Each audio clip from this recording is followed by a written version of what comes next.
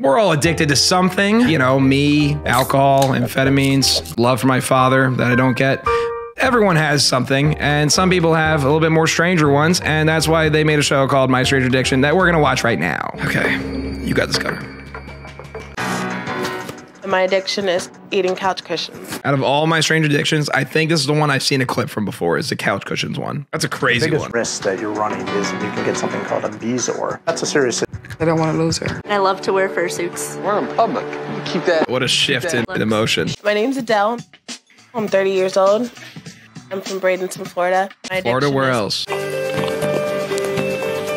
Brings them on the road with her. Ugh, just a My little to go. I was about 10 years old, and my cousin, we were in his room, and he's like, try this. There's always somebody that enables it. Yo, try this. Yo, all the cool kids in school are doing it. Come on, don't be a puss. Yo, fucking try it. Come on, try some of my couch cushion. Come on, fucking do it, pussy. This is the only one I think I could get. I think I get this one more than I do of the other ones. I had a phase where I was very stressed in like high school, maybe middle school, where I would like I would pick out the hair like back here. I'd like I would just like pick hair. I don't know. It was like stressing, and I would just do it until like my dad noticed I had like a fucking bald spot back there. He's like, "What are you doing?" And I'm like, "I don't know. It's like a nervous like thing. I'm just like fucking like picking hair back." He's like, "You're gonna actually go bald. Don't do that." That's like a stress thing. So I get like a stress, you know, stress eating pillow. 200 pounds of couch cushion. How do they even measure that? How On do they know? basis. Seven couches and two chairs. Bro, I could fucking beat that. She had what, 30 years to do this? Yeah, no, I'm beating that. Sometimes I'll just go on like a binge where I'll just keep going for like 20, 25 minutes straight of just eating cushion. For me, couch it's smart food popcorn, but I feel that. This is the damage that I've done so far. Okay, well, I'm going to too. state the obvious here. That can't be good for you, right? I'm just going to take a shot in the dark. This can't be good for you. Are they going to blame this on her? oh, no, no, no, sorry. Control my parents. Oh, I'm sorry. I read that the wrong way. In my mind, I'm like, are they going to blame it on her? They're saying the addiction started after her parents got divorced. Okay, so the stress from the divorce got her to start doing this. Well, that's actually about the same time as my hair thing. You know, that kind of makes sense. And that's when my parents got divorced. I'm learning so much about myself from this. I would find pretty much anything with cushion. This is just me opening up about my strange addictions. I've gotten over them, obviously, but I I ate these, baby. Oh, I ate these, all right. I ate that for sure. I would bite that thing off right away. I wouldn't like swallow it. I just wanted to look at like the biting of it, you know, like what it looked like. And then I'd always be pissed because I had no eraser. so I'd be like, fuck, why did I do that? I can't even erase. So I always be having to borrow other people's pencils to erase stuff. Yeah, but I did it every time without fail. Anyways, I got over it. All right. You guys don't see a fucking full basket of number two pencils back there, do you? I'm not going to pull them out to show you, but they're not in there. My mom had dresses with shoulder pads. I got to all her dresses and ate all her shoulder pads. Oh, damn. My mom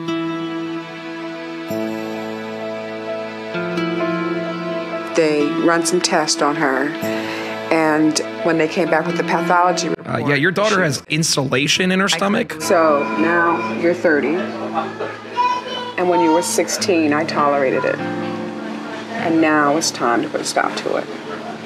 it's controlling me. You know, I can't say no. I can't stop. So Well, that's like a drug. Mm-hmm. Knowing that she's eating cushion all day makes me sick to my stomach. It literally makes her sick to her stomach. I want this to be over and I, I want help. I'll be there for you 24 hours a day. One, two, three, four o'clock in the morning. If you need to talk to me, you know where I am. Where were you the last 14 years? As a mom, I'm so worried. I'm about ready to pack my stuff and move in with Adele. I don't want to lose her. And check out this weird furry. This woman could die from eating couch cushions. Stephanie found a furry suit. Let's look at this. My name is Lauren. I'm 19 years old. I'm a college student. And I love I have a repulse to does- furries. I'm not judging in a way where I'm gonna fucking go up and bully them in person, but I am repulsed by the furry stuff. I really am. I find it extremely creepy. I find it creepy. I know it's a hard stance. I'm sorry, but I just I can't get behind it. I find it creepy. I'm also terrified of like people in suits in general, though. I don't like fucking mascots. I don't like dressing up on Halloween. I've always been terrified as a kid, so it could be some kid internal part of me, but uh, no, I don't like it. When I wear gear in public, I definitely get a lot of weird looks. Furries would beat my ass. What does that have to do with anything? I'm sure the people can be cool. Don't get me wrong. I've seen the furry con stuff and the, the people seem nice and like super normal when they talk. I just find the whole interacting, doing it themselves. This part right here, Lauren's obsessed wearing fake animal ears, masks, paws, and tails. I find it weird and creepy. That's just me. You do you. Lauren's always been a real creative person. All of a sudden, one day she came and said, Mom, you, you want to give me some money so I can start buying some fur and making these suits? And that's how it came to be. Dude, they always fucking do this. Lauren, as a kid, was She was always a furry. outgoing. When her dad died, that's when things started to go downhill for Lauren. After that, she became introverted. She barely squeaked by in high school. Squeak. That's what furries do. It's not uncommon that people who will wear these furry animal costumes are really avoiding some major issues about their own self esteem, their own She perceived. golfs in so the suit. You have to be sweating bullets. There's no way you can golf in the fursuit. No, I don't believe it. Furry fandom is a very large community.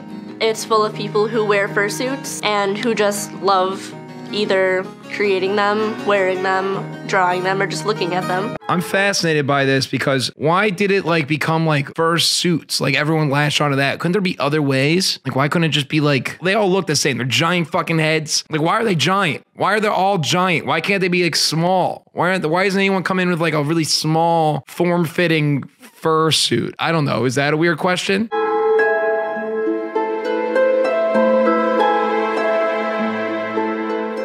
There is a darker side to the fandom where it does involve fetishes. Right now, it's the whole setting. It's just kind of a little nerve wracking. We're going to look down into her stomach. All right, we needed a couch cushion break. Oh, Jesus. Just cushion? She continues to eat cushion? I'm at the doctor's office today, super nervous. Um, it's been 14 years since the last time I've seen a doctor about eating cushion. Oh, fuck. Oh, that's not good. A full fucking 14 years since you last seen the doctor about eating cushion. Hasn't just come up in the yearly checkup? Oh, that's not good at all. I'm scared.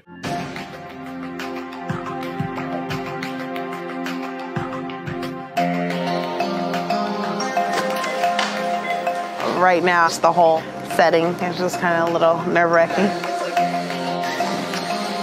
I want her to be okay, but 14 years, is no shot. We're going to look down into her stomach to see if there's any pain cushion.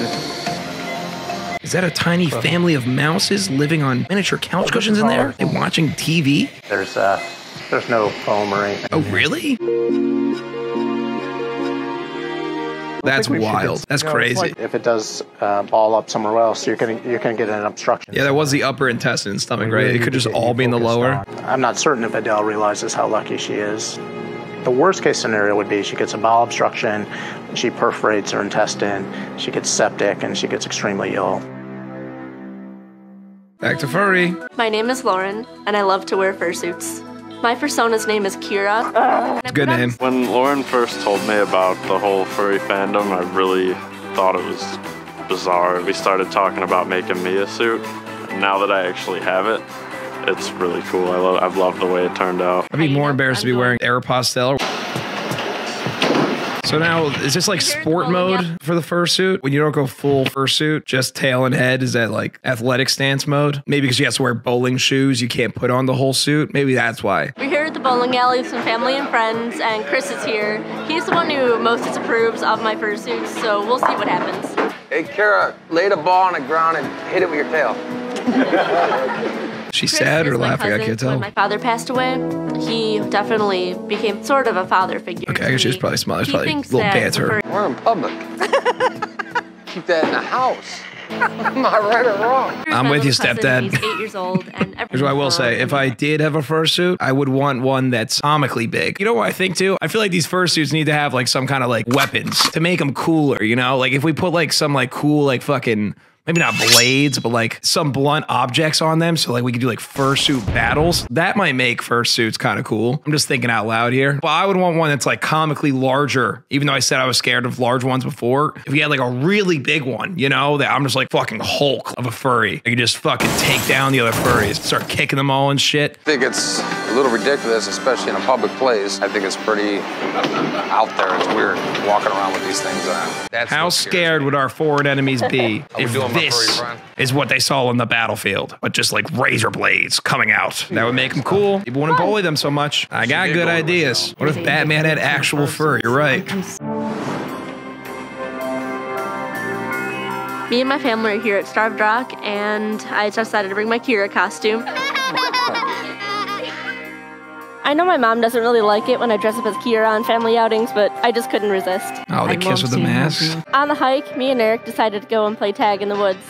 We definitely had a lot of people stopping and staring. A few comments. Part of them like not being embarrassed by it has to be that no one can see their face. I imagine. Whenever like we had masks on for COVID, you put a mask on, like a hat and shades. I feel like you walk in anywhere, you feel like no one's even looking at you. No one even knows what anything looks like. So like, who fucking cares? I don't know what she's doing around that tree. Well, I think they're pretty crazy for doing it. It's crazy. Okay, well now they look like they're gonna try to kill people. Don't Not hide behind trees sure like that. I'm a little concerned how far this is going to go. I think my mom doesn't really understand the whole concept of it. I think she thinks too deep into it. It's an escape from reality. She's with her entire family out right now. They're escaping reality at the wrong time. They're in reality right now. But I'm just really kind of worried about where you're going with this. I'm afraid that you're taking it to something that's beyond a hobby. You want to go to your furry con? I don't know why I said it like that. Or you want to go furry out in the fucking meadows? Cool. When you're with your family, don't bring the fursuit. And I'm just afraid that either you're hiding behind this or you're using this as a way to have permission to go on. And that's why me, as your mother, I want you to meet my fursona, Patricia. She like puts it on. She's like, I accept you. I was just wondering if you'd be on board if you would go and talk to somebody about it. Yeah, I mean, I don't see anything wrong with it, but I mean, sure. Good. Okay, that's all I ask. Back to pillows. My name's Adele, and my addiction is eating couch. I mean, it's sad, but uh, just every single time they come back to her, it's just instantly just shoving the, the fucking pillows in. The doctor told me that there was no damage. To She my is so stomach, lucky there's no damage. That's wild. that. The doctor recommended I see a therapist. Sometimes this has a lot to do with stuffing feelings down, if you know what I'm talking about. Okay, come on. Don't make the jokes that easy, psychologist woman. Look, I just want to cushion the blow here. I've never really thought of it that way, but now that she's saying it, all my feelings that I didn't express to other people, I just wanted to weigh them down, push them down, and that's just how I've been dealing with life. What is she addicted to? Look, Old feelings. it's there. Those weren't B roll of her eating a Cobb salad. That is her housing a by being in fucking couch. If Adele can't break this habit, I really worry about her physical health. She's totally Furry. crazy. How would you say you feel? Oh, I wish she came to the psychologist in her fursuit. I'm pretty interested to see what a therapist has to say about this. I mean, it's completely harmless. I don't think I'd be stopping anytime soon. I wonder in therapy right now what the consensus is. Because I'm sure some are like, it's a good outlet, and others be like, you got to stop right now. Who do you think you are? I'm not extremely familiar with the community of furries, so would you tell me a little bit about that? Um, I made um what are called first. I don't think they teach furry psychology. I don't think that's like a subsection class. Her name is Kira. She's kind of the more outgoing side of my personality, just amplified. Would she be the life of a party? Would she be? Yeah, definitely. okay. If I could get the alcohol through the Um, suit, it just never goes in. I try. It just it's all over the used to be fucking mask. Can you imagine like, Kira doing a fucking keg stand? but it's been kind of declining lately. Like since my dad passed away. Oh, sorry. Bad timing on that. oh, God.